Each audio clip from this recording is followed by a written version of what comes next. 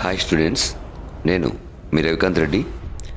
ఈరోజు ఈ వీడియోలో ఆంధ్రప్రదేశ్లోని డిగ్రీ ఫస్ట్ సెమిస్టర్ చదువుతున్నటువంటి సంస్కృత విద్యార్థులకు చేంజ్ అయినటువంటి సిలబస్లో మొదటి పాఠ్యభాగం అండి.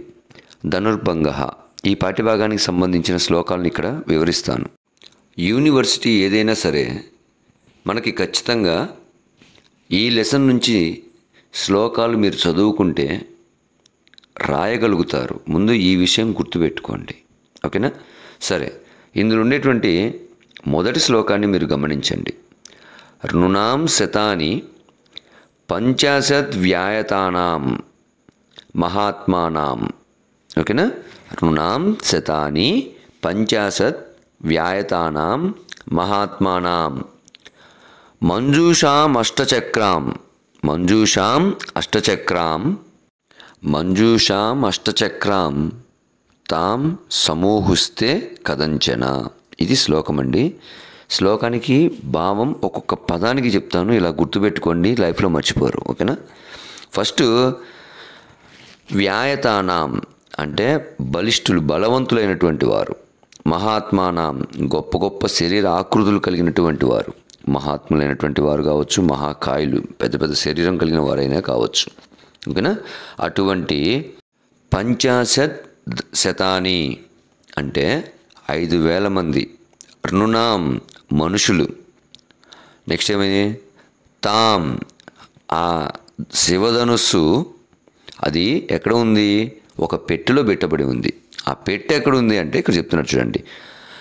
అష్టచక్రాం అష్టచక్రాం అంటే ఎనిమిది చక్రాలు కలిగినటువంటి మంజూషాం ఆ యొక్క వాహనం మీద ఉందన్నమాట. ఎనిమిది చక్రాలు కలిగినటువంటి ఒక వాహనం మీద శివుని యొక్క ధనుసు పెట్టెలో పెట్టబడి ఉంది. అటువంటి రథాన్ని కదంచన ఎంతో కష్టపడి ఎన్నో రకాల మీద ఎంతో శ్రమతో సమూహుస్తే అంటే తీసుకుని వచ్చారు వారందరూ కూడా అని చెప్పి చెప్తున్నారండి.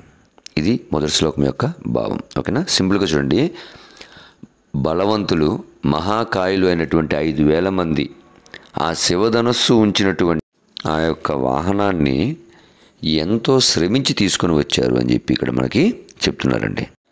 మన ఛానల్ మొదటిసారి చూస్తున్నట్లయితే సబ్స్క్రైబ్ చేసుకోండి. ఈ వీడియో నచ్చితే లైక్ చేయండి మీ మిత్రులకు షేర్ చేయండి. ఇది అందరికీ ఉపయోగపడేటువంటి వీడియో.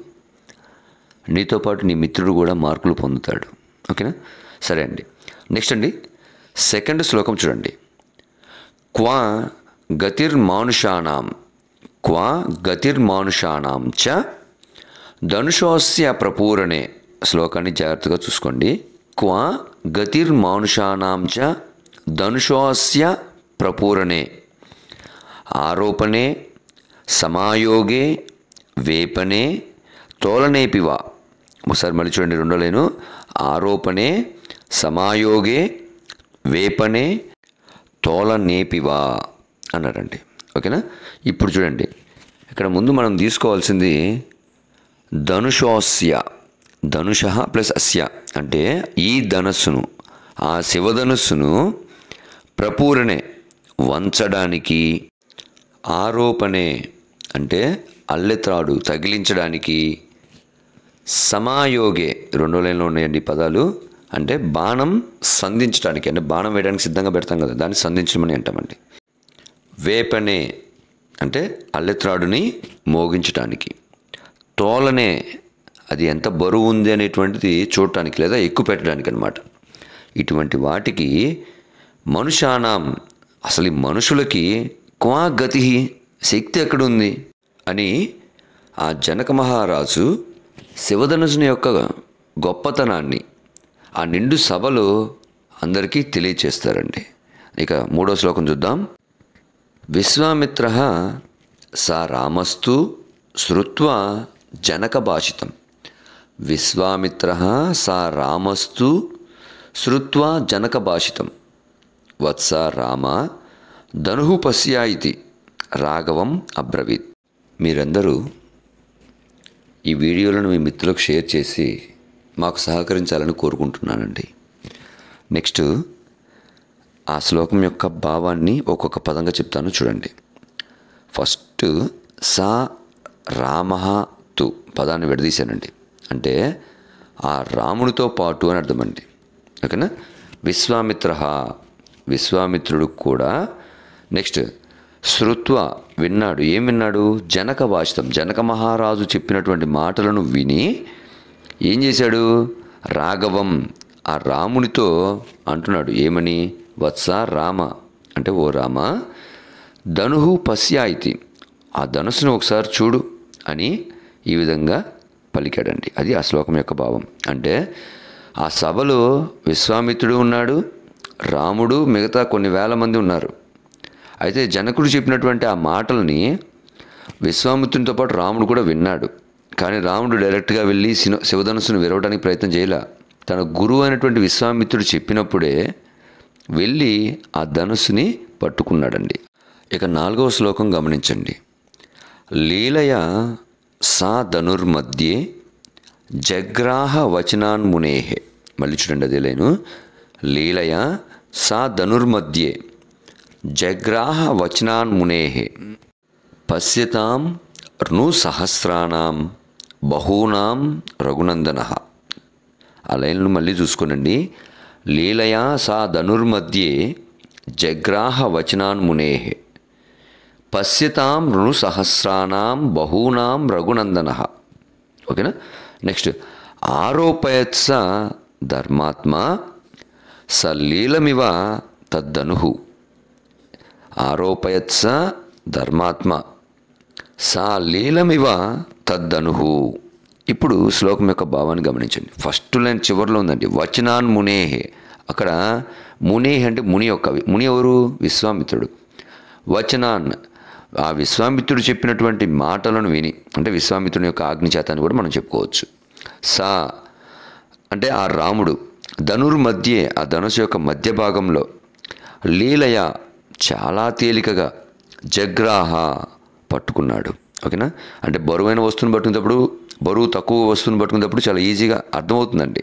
కాబట్టి అంత గొప్పగా చెప్పినటువంటి ఆ ధనస్సు ఎవరు విరవలేరు రాక్షసులు దేవతలు అని కూడా చెప్పారండి.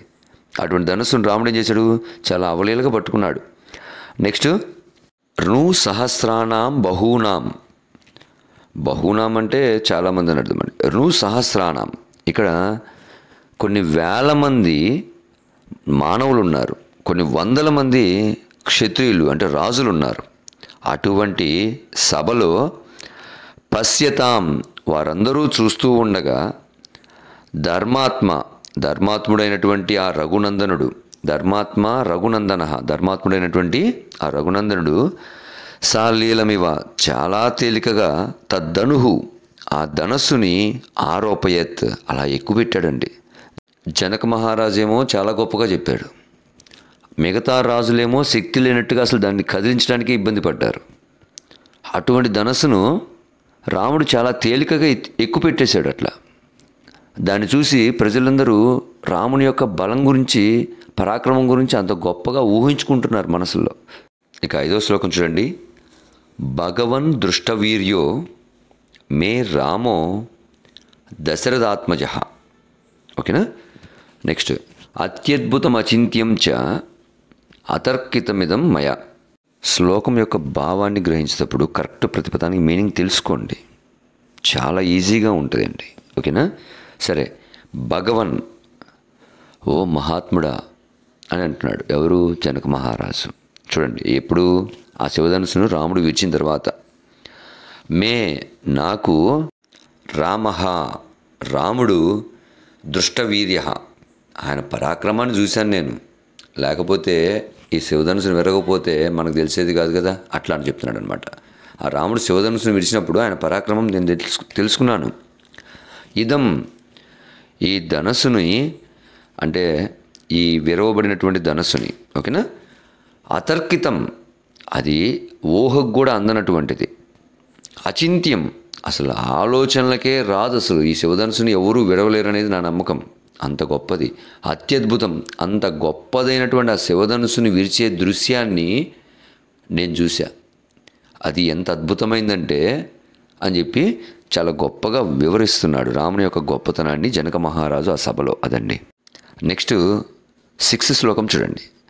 జనకానాం కులే కీర్తిమాహరిష్యతి మే సుత.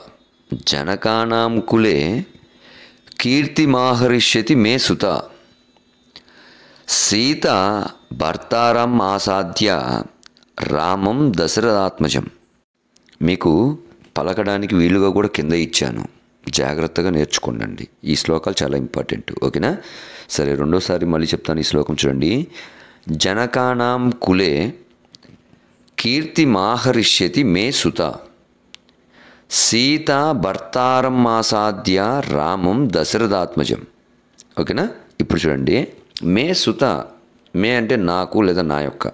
సుత అంటే కుమార్తె. నా యొక్క కుమార్తె అయినటువంటి సీత ఆ సీతాదేవి దశరథ ఆత్మజం దశరథుని కుమారుడైనటువంటి రామం రాముణ్ణి భర్తారం ఆసాధ్య అంటే భర్తగా పొంది పదాలు విడదీసి చెప్తున్నానండి జనకానాం కీర్తిం జనక మహారాజు అయినటువంటి నా యొక్క కీర్తిని అంటే నా రాజ్యం యొక్క కీర్తిని కూడా అని అర్థం వస్తుందండి. అయితే ఆహర్షతి పెంపొందించగలదు అభివృద్ధి చేయగలదు. నా విద్రేహ రాజ్య పాలకం యొక్క వంశానికి సంబంధించినటువంటి కీర్తిని ఆ అయోధ్య నగరానికే కాదు ఈ భరతఖండం మొత్తానికి కూడా తెలియచేస్తుంది అని చెప్పి ఆ నిండు సభలో రామునికి సీతాదేవినిచ్చి వివాహం చేసేటువంటి సమయంలో చెప్పేటువంటి మాట ఇది. ఓకేనా? మీకు కావలసిన సిలబస్ మొత్తం కూడా త్వరలోనే అప్లోడ్ చేస్తానండి. మీరు చేయాల్సిందల్లా వీడియోలను మీ మిత్రులకు కూడా షేర్ చేయండి. దయచేసి ఓకేనా? థ్యాంక్ యూ అండి థ్యాంక్స్ ఫర్ వాచింగ్